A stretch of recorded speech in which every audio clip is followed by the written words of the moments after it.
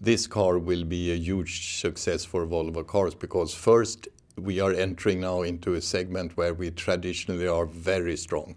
And then I think customers expect a very strong estate offering from Volvo. We will meet that with this new car. But it's also a great looking car. It has an excellent drivability, it's fun to drive. And all of that it combines with a lot of space in the rear. And I think uh, allowing a modern family also to bring along all of the stuff they need for an active lifestyle. With these cars now, we will broaden our electrification offer. We will offer now for the first time two twin engine variants, the T8, but also now a new T6 twin engine variant.